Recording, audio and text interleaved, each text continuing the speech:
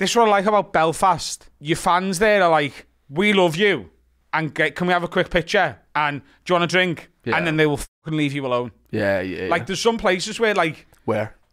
posh places. Leamington Spa. Yeah. I don't know what that is. Leighton Buzzard, which sounds like a breed of bear. I thought he played doesn't for? Everton. No.